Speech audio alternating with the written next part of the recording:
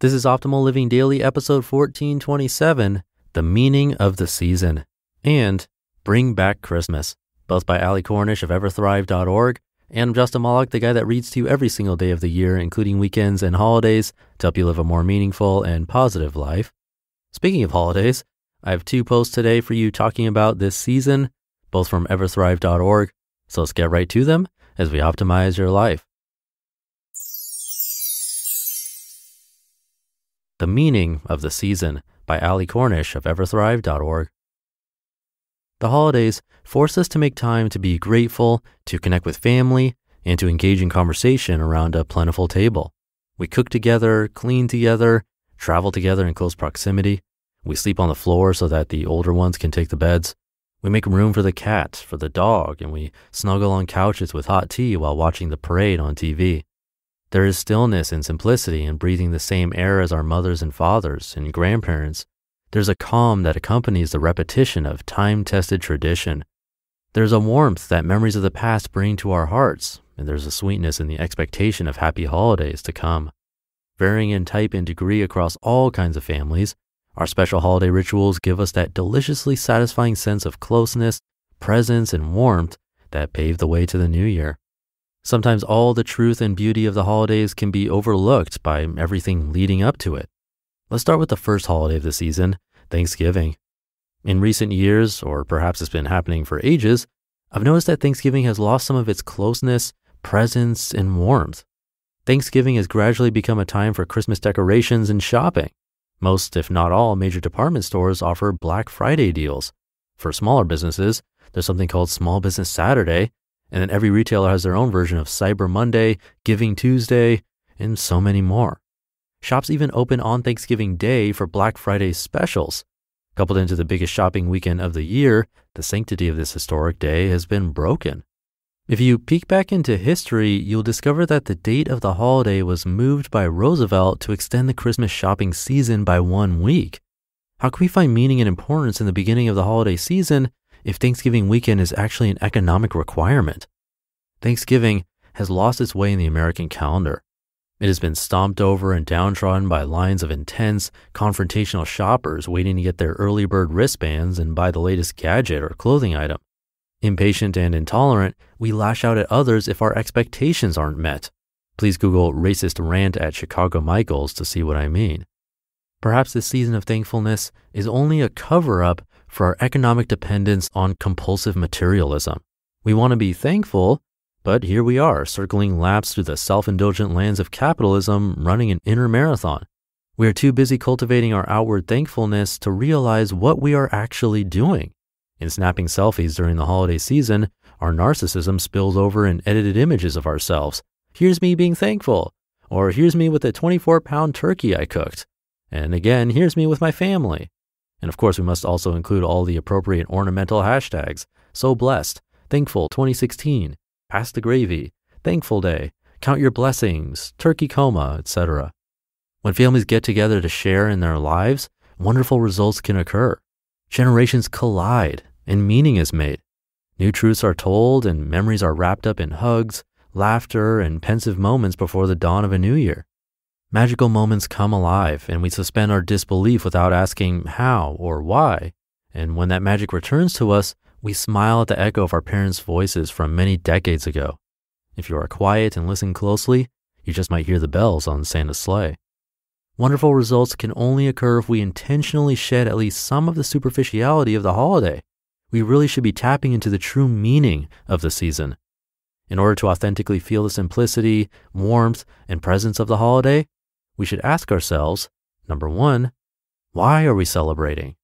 Number two, what about this day or moment brings us joy? Number three, how can we grow even just a little bit from an interaction with a cousin or aunt or brother? Number four, why are we going through such great lengths to produce a perfectly seasoned, succulent turkey? And number five, moreover, how can we extend our harvest of thankfulness year round and to others in this world? Quote, Cultivate the habit of being grateful for every good thing that comes to you and give thanks continuously. Because all things have contributed to your advancement, you should include all things in your gratitude. Ralph Waldo Emerson. And I have another post in just a sec, but first, thank you to Sakara, which has organic meal plan deliveries that boost your mind, body, and spirit. You want to feel good about what you eat, but sometimes it's hard to prepare healthy meals that also taste good. Healthy meals don't have to be boring or bland. Sakara's superfood breakfast cookie comes with chrysanthemum cranberry jam. It was really, really good. And the Sakara burger I had was packed with zingy flavors, really great stuff. I felt amazing, less bloated that entire week.